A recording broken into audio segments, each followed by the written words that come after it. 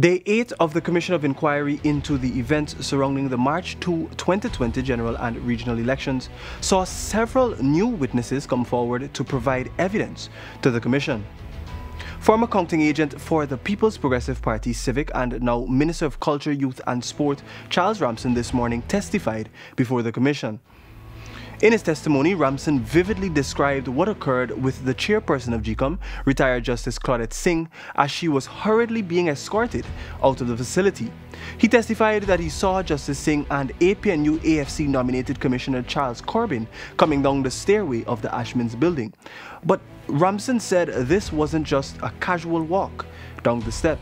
Shortly after, um, there was the what purported to be the um, announcement by Clairmont Mingo.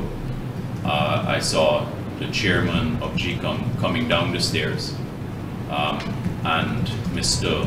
Corbin um, huddling her as she was coming around, coming down the stairs,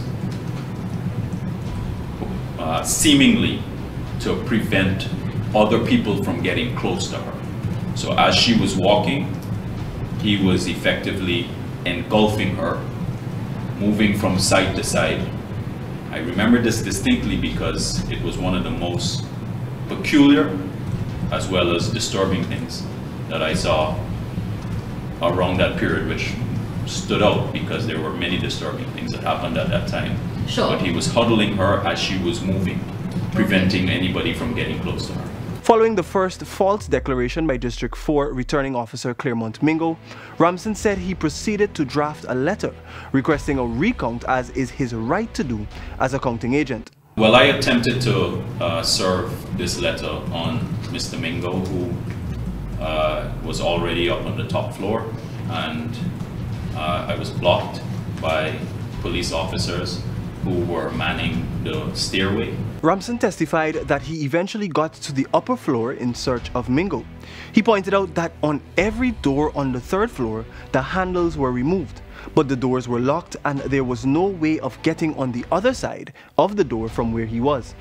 After constantly rapping on doors hoping someone would respond and he would find the returning officer, Ramson said he practically concluded that Mingo was not on the third floor and proceeded back to the lower flats of the building. It was at this point in his testimony Ramson disclosed what appeared to be a clear collusion between the Guyana Police Force and some of the high-ranking members of GECOM in preventing Ramson from serving the request for a recount on Clairmont Mingo. Waited for a while. It was already um, getting late into the evening at that point. Um, and then I saw Mr. Mingo emerge from the top floor. The position that I was in I was able to see what was happening um, on the top floor, uh, and this is from the ground floor.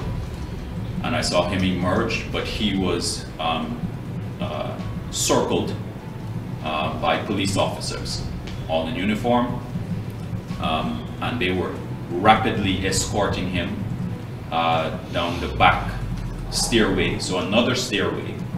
Um, but I can see it because there were glass doors uh, that you can see portions of where when he was moving.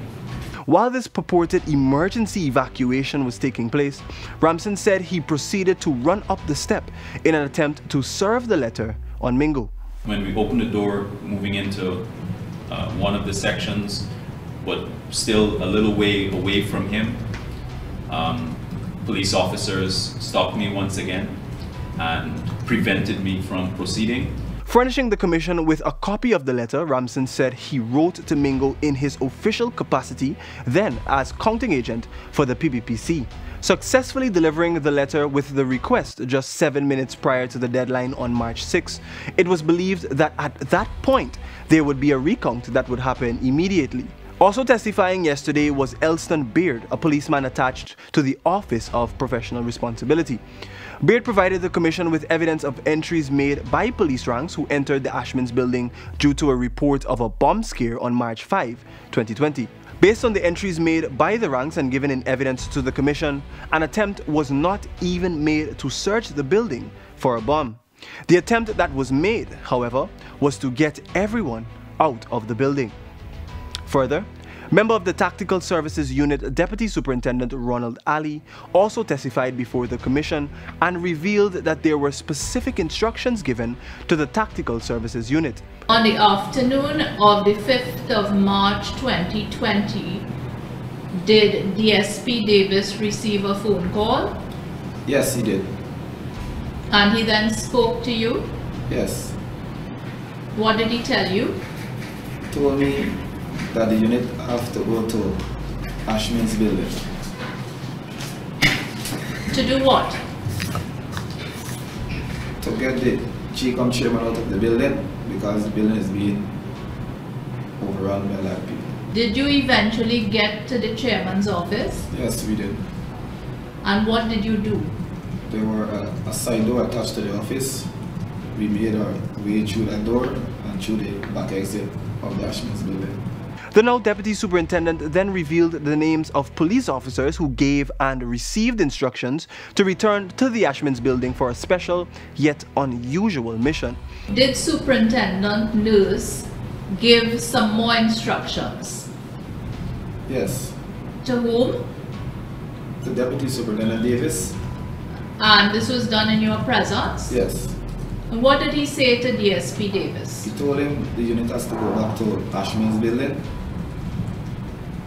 to clear the building, everyone needs to come out and the building needs to be secured under locks and keys. Ali's testimony on the events of March 5, 2020 adds to the strong suspicion that some senior ranks of the Guyana Police Force played a pivotal role in the attempt to subvert the smooth flow of the electoral process. In yesterday's testimony, several pieces of evidence were submitted to the Commission and testimonies given from accredited observers Rosalinda Rasul and Captain Gerry Gouveia. Also, former Deputy Returning Officer for District 4 Paul Jai Singh testified and related to the Commission his experiences at the Ashmin's building, where he was assaulted and a threat was made on his life. The Commission of Inquiry was set up by His Excellency Dr. Mohamed Irfaan Ali to inquire into the events surrounding the March 2, 2020 general and regional elections. The Commission of Inquiry was set up by His Excellency Dr. Mohamed Irfaan Ali to inquire into the events surrounding the March 2, 2020 general and regional elections.